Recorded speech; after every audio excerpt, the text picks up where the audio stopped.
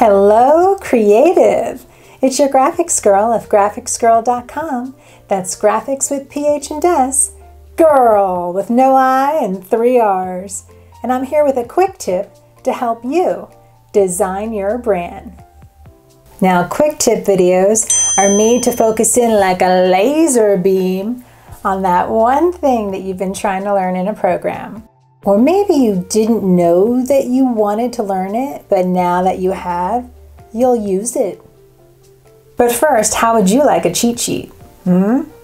Head over to graphicsgrrrl.com and get your free Photoshop cheat sheet. It'll show you all the shortcuts in the program, whether you're on a PC or Mac. Just click the link below. Here's how you can make a movie from your layers in Photoshop. I do this when I'm creating animations for my Instagram posts because Instagram unfortunately doesn't take animated GIFs. So I export my animation as a movie that I can upload. So here I have a layered PSD file that I've exported actually from my Illustrator file. And each layer has a frame by frame animation you can do this where you have elements showing on and off. You don't have to reproduce each element on a layer, but like I mentioned, I'm taking this from my Illustrator file. So to make a movie from Photoshop, here's what you do. You come to Window, Timeline. When you select Timeline, at the bottom you'll see a section that says Create Video Timeline you select all four layers that you have. So what you're going to do is click that button and then an entire timeline shows up. What you'll see is all of your layers will now appear in a timeline and there will be a progression. You can see here that the units of measure are in frames. In general, video uses 30 frames per second.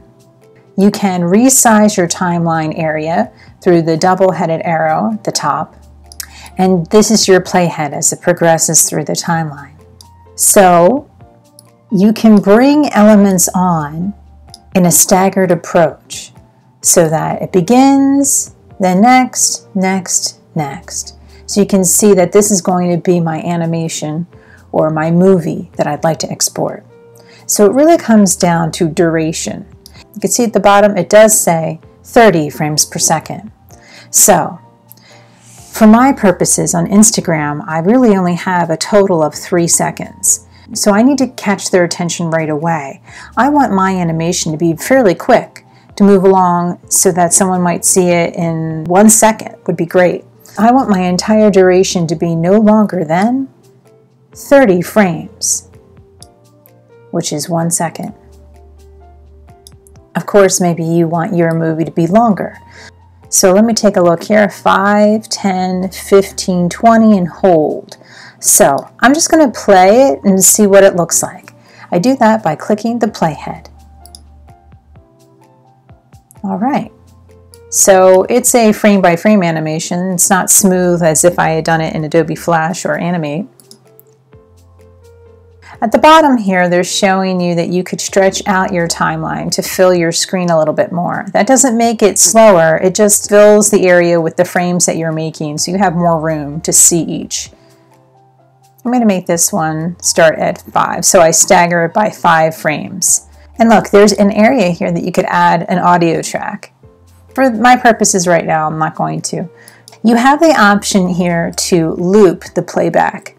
I'm going to go ahead and do that and see how it looks. So if someone were to stay on my post, perhaps they're reading the content below the post, it might animate over and over again. All right, see when you're hitting play, it toggles to the stop. So you just hit the stop button. And if you needed to, you have the ability to edit your video. And on the upper right hand corner or the options hamburger menu there of your timeline, if you click on that, you have more options. You can, there you go, split a playhead. You can move. You can convert frames into clips and animations. You have a lot of options here. You have the ability to also change the frame rate to be something other than 30 frames per second. So at the bottom here is your option to render video. When you choose that, it's uh, exporting, so give it a minute. When you click Render Video, you have the ability here in the Render Video dialog box to change the file name. I'm going to make this movie be uh, called Leading because that's what the animation's on. And note that the file format is MP4. Then you'll select where you're going to save the movie and it tells you here your file size. So perfect. For Instagram, it's 1080 by 1080. And our document frame rate, 30 frames per second. So with all of that, you're going to say all frames and you're going to render. This may take a little bit of time. Okay, let's go check it out. Perfect. It visualizes the concept I'm trying to get across, which is leading is the vertical space between lines. And that's how you make a movie from Photoshop. One more thing if you are creating a movie for Instagram, then you need the movie to be three seconds long. So, what I'm going to do is I'm going to have it go down, up, down to take up three seconds. So it's just a matter of continuing on in my timeline and having these elements no longer show. We have this one, and then the next one that I want to start with is this same one and have all of these other ones go away. Here's what I mean. You see how it goes? It goes down and back up, right? And I could have it do it one more time and that would extend it out.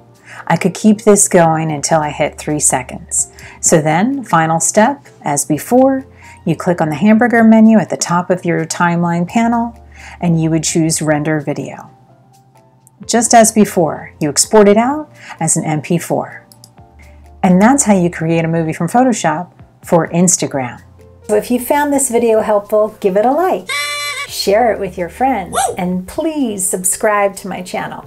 And don't forget, for free marketing, branding, and design resources, head over to graphicsgrrrl.com. Mm. That's graphics with PH and S, girl with no I and three R's. And I'm here to help you design your brand.